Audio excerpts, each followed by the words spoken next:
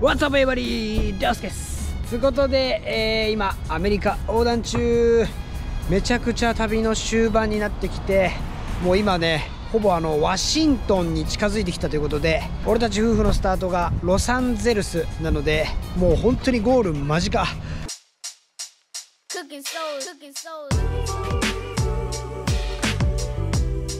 あーめちゃくちゃもう5000キロ近く走ってきたという感じになっちゃってアメリカ旅もね終盤をもうちょっとで迎えるっていう感じやけど、えー久しぶりにアメリカでやっぱりステーキを食べたいなということでアメリカのステーキのまあ有名なチェーン店に来ました、えー日本ではねもちろん全然知られてないと思うんやけどここロンロングホーンステーキハウスという感じでなんとこの店がねかなりあのアメリカ中店舗があって結構人気のステーキハウスだということでアメリカンな肉を食べれるそしてアメリカの人がよく知られてるお店でちょっと食べてみたいなということで行ってみたいと思う。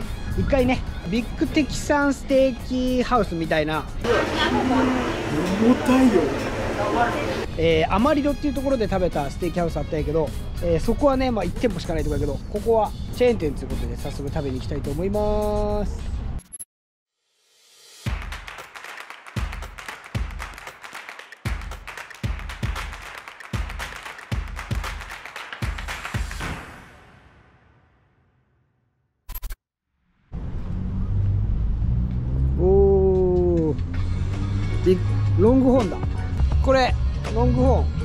感じの可愛い水牛ちゃんみたいな何？虫？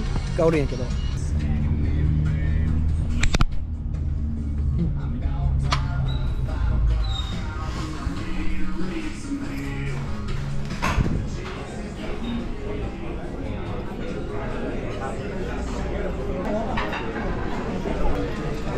い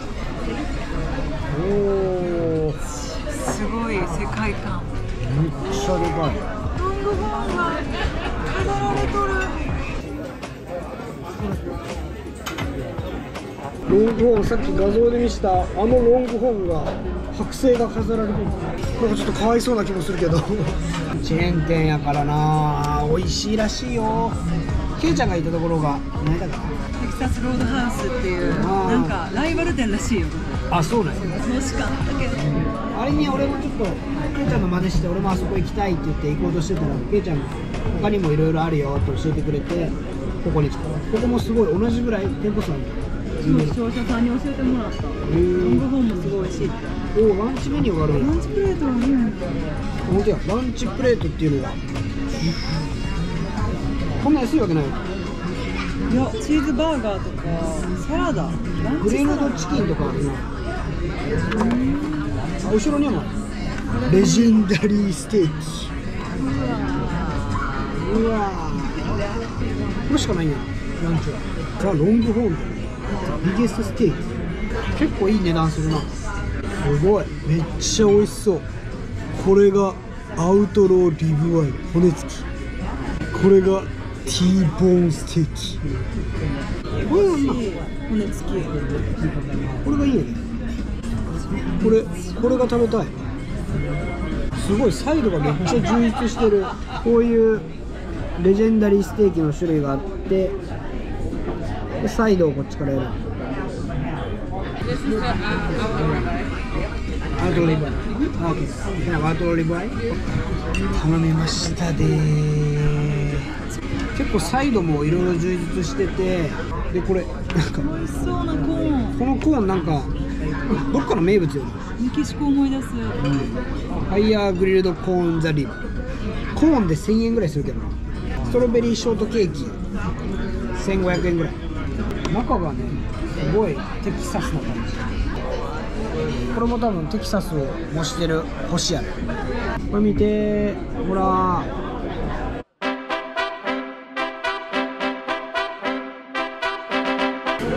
いやナイフでかすぎんやっ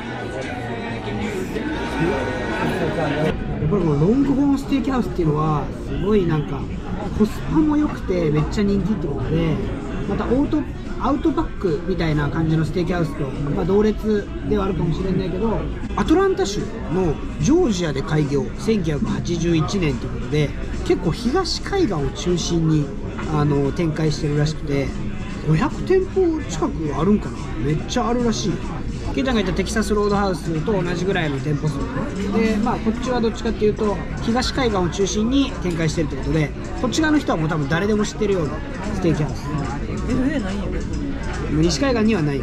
しかも最近2023年かな？グアムに進出したってことでめっちゃもう大人気。いやーでも美味しそうやったランチメニューがあったと思うんやけどあそこにサンドイッチとかハンバーガーとかあったんやけどなんとあれ11ドルとか12ドルとかねだからめ8とか9あってそうかめっちゃ安いのアメリカでは考えられないぐらい安い。1000 2000円以下で美味しい肉が入ってるハンバーガーとかサンドイッチを食べれるってことでめちゃくちゃランチでも人気だし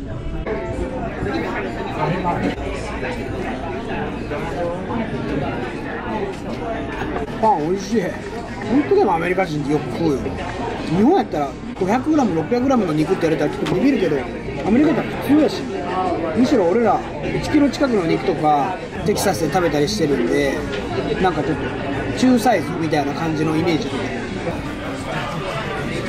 すごいいい香りする。小麦の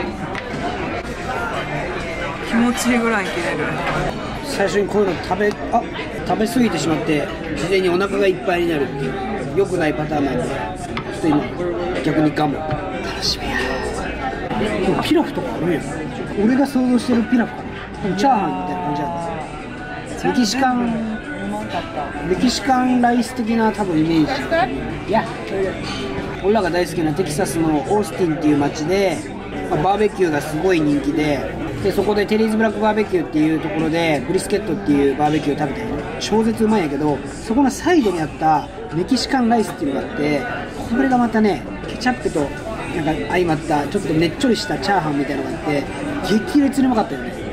こういう感じのなんかイメージをしてる一応。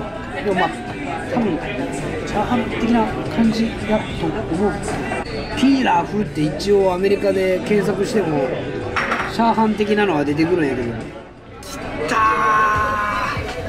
ー。見てこれ。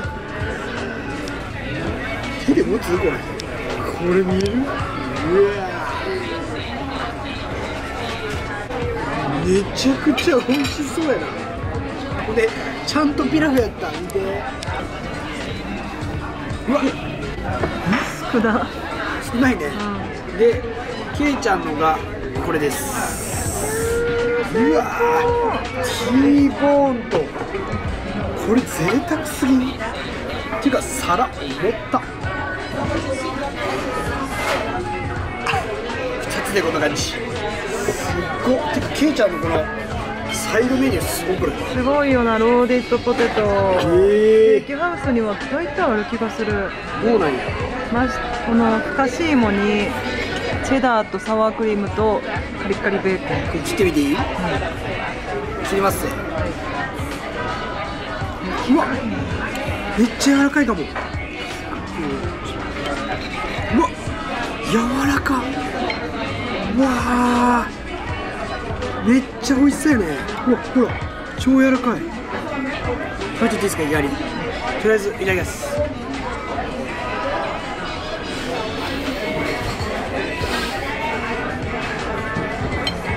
これはやばい。めちゃくちゃうまい。食べた瞬間にわかる。めちゃくちゃ柔らかい。部位が。アメリカのステーキっぽくないというかいい意味でも。すんごいうまい。ピラフ。うん。日本のピラフの匂いする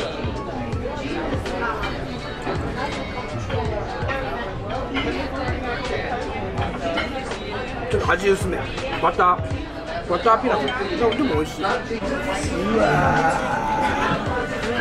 なんだこれ。うわ絶対好き系。うわ見して断面。うわ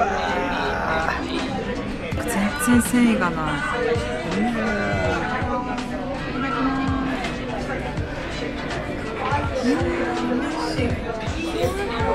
うん。柔らかい。Yeah, it's very good. 油と赤身の塩梅がちょうどいい。うわ甘い。甘くてちょっと焦がしとって香ばしい。ステーキハウスで全然違うな。これめちゃくちゃ美味しそうやねこれも美味しいよ。うわーこれ。でピラフだとね最高にうまいんだけどこうかぶりつけるよな全然。かぶりつけてみていいか。いかぶりつけよ。ううんうまいうわすごうん。めちゃくちゃ美味しいんやけど。何これ。こ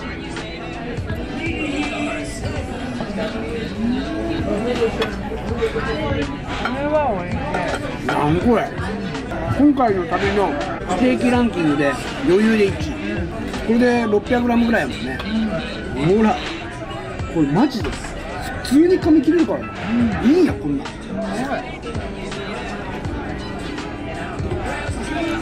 めっちゃ柔らかいやん食べてみて。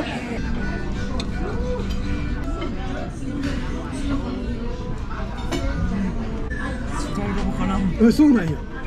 逆に T ボーンもそんなに美味しい？あこっちらはちょっと硬くない？うわー T ボーンも美味しそうやねこれケイちゃん T ボーン。うん。うん。どう違ううん。うん。俺が頼んだリブアイの方が甘い気がする。へいい意味で淡白。美味しいよ。めちゃくちゃ甘みあってすめちゃくちゃうまい T ボーンのやつ、だけどリブアイの方がもうちょっと甘みがある。なんか和牛っぽいというかチェーン店と思えん。これやばい。余裕。ナンバーワンぐらい知らんかったもんね。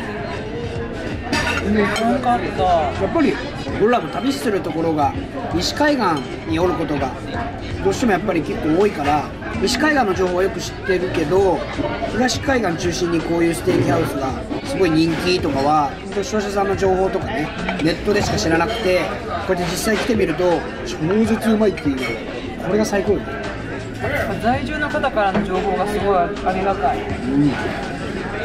めちゃくちゃうまい。余裕で1キロ食える全然食べれる。肉油っぽすぎず赤身すぎずちょうどいい。大当たり。大当たり。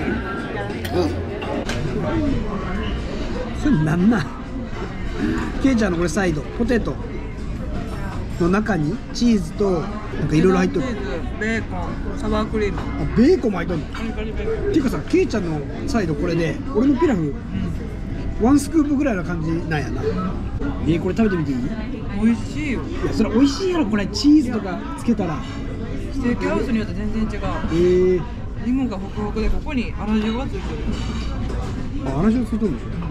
こっちのステーキハウスのさポテトも美味しいよね。美味しいホクホクで甘いうん。サワークリームがすごいクリーミー。な禁断の味がする禁断のいやこれもううますぎてずっと食えるから絶対太ってしまうやつ。うますぎるんやけどこれいまだにさ肉がむちゃくちゃ楽に切れんの、うわ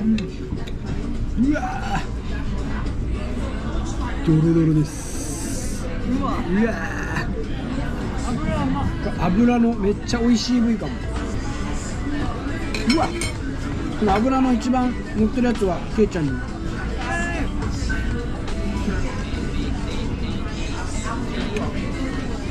やばいなこれ溶けるこのマジではいあんな大トロみたいな感じ油溶けた4分の3ぐらいは食ったんやけどもうまだ終盤なんやけどさだいぶ時間経ってるんやけどいくよ?ほら全然力入れないやばくない?温度が下がってきても。でステーキって硬くなるけど全然硬くならんしあと前俺らはねミディアムレアで頼んだ時に結構生できてで今回あのミディアムにあえてしてみたらちょうどいい。店によって違うと思うけどね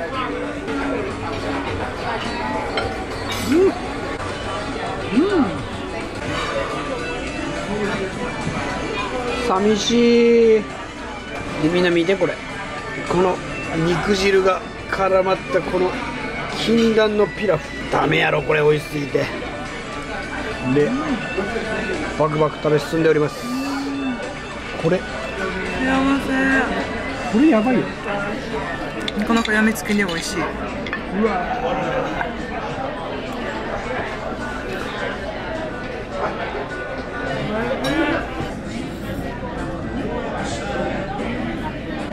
繊細味が激うまいです。ブレッドも忘れちゃいけんよ。これ肉汁と肉汁バターでしょバターが美味しいなんかクリーミーバターにめちゃくちゃ味がある、これはたまらんちょっとこれ反則やわ。うますぎかも。今ロードハウス行った時にさ隣のテキサスの兄ちゃんが店員さんに「お重ちょうだい」って肉汁で作った醤油ベースのソースもらってたんで50お重真ん中に骨が出てきた。骨が完全に木になってないな。乗ってないかも。この骨の境目も美味しいよなまた。見してくれんこっちも。うわ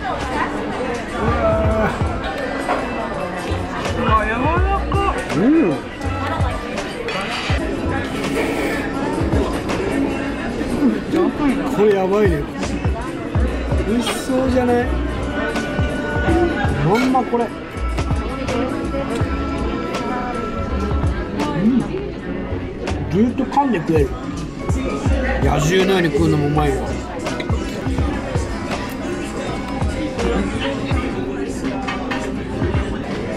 激脂やばい。骨周りに来てしまった。骨周り一番うまい説やうん。やば。めっちゃ美味しい。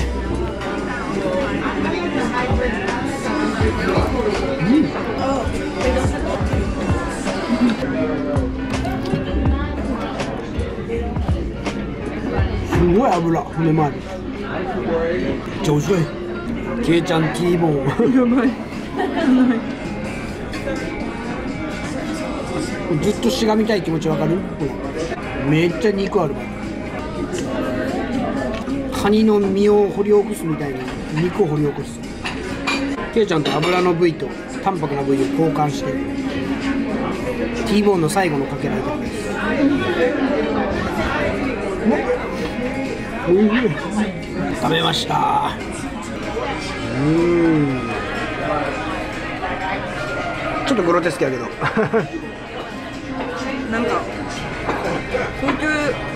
ステーキ屋さんも入ったことあるけどさニューヨークとかで。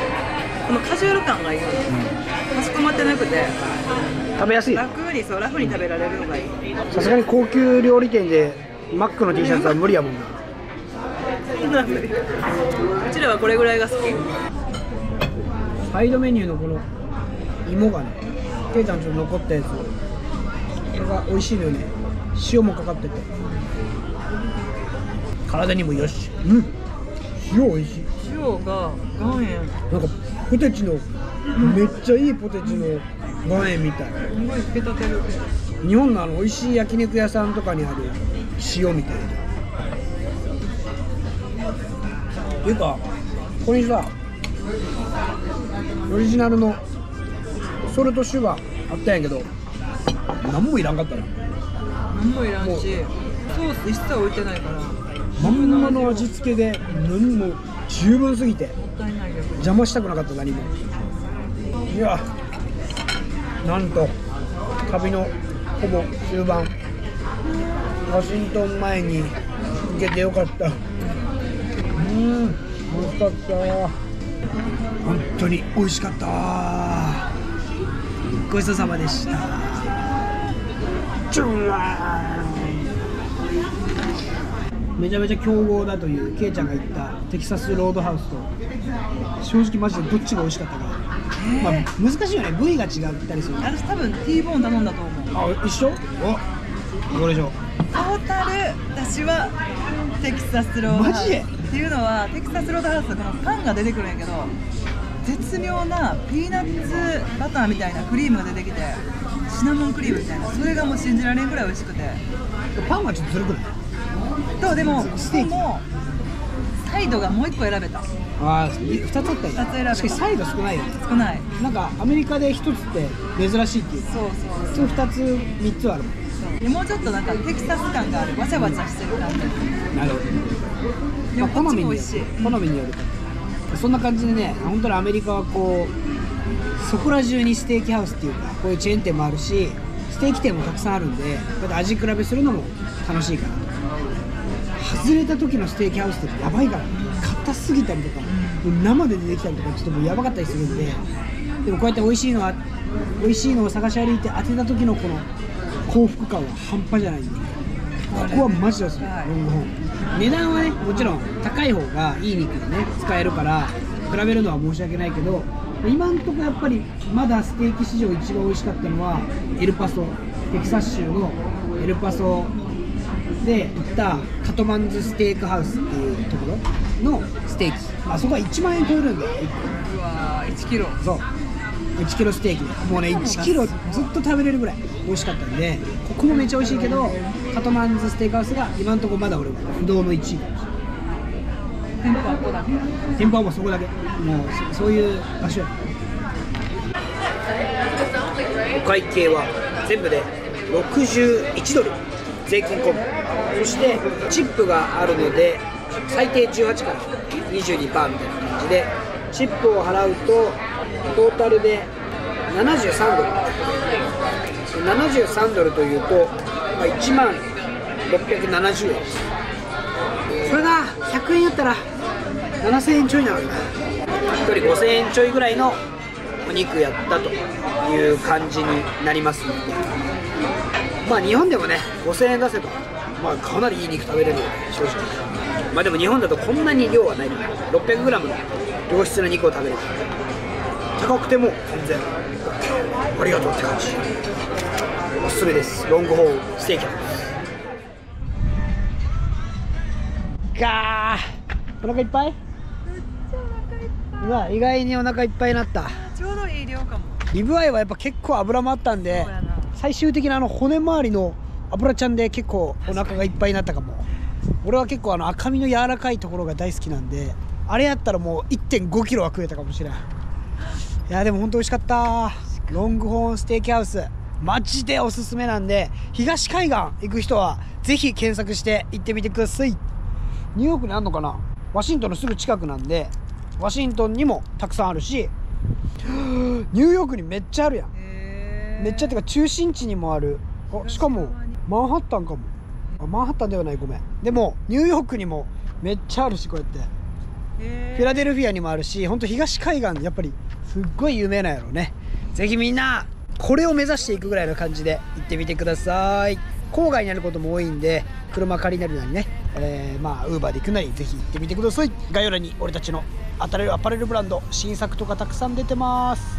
パーカーとかロンティーとかまあ、あと大人気で完売のバックパックとかサングラスも、えー再販してるしこれパーカー新しいのとかね可愛いロゴ付きの新しいキャップもあるのでぜひそれも見てください。じゃあ今日も動画見てくれてありがとう、えー最後まで横断動画お楽しみにそしていいなと思ったらグッドボタンお願いします。See ya!